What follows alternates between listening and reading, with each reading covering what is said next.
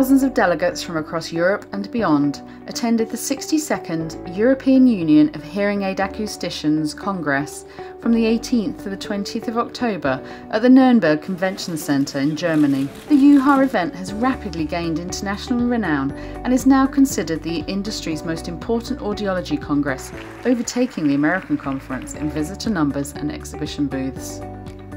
A comprehensive, multifaceted, and ambitious programme of presentations was given by distinguished experts, encompassing 20 lectures and tutorials on hearing aid acoustics and technology, audiology research, and scientific papers. Connectivity and over the counter hearing aids were two of the major topics for the 2017 convention.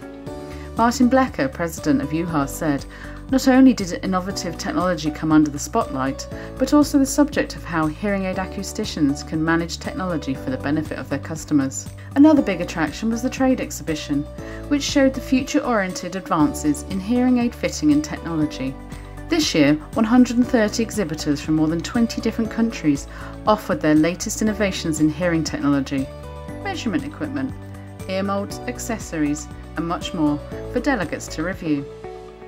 The exhibit hall also proved to be a popular meeting and connection space for colleagues and audiology friends from across the globe.